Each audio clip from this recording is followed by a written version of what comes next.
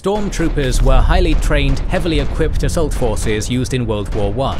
They were independent small units which countered the strength of the enemy's defences with their speed, shock and surprise.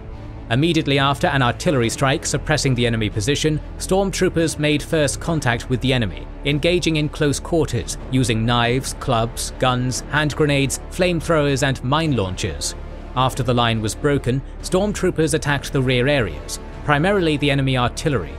Meanwhile, the regular infantry poured into the breaches, mopping up the last pockets of resistance and preparing the captured trench for a counterattack. Stormtroopers were most famously used by Germany in the Kaiserschlacht in the spring of 1918.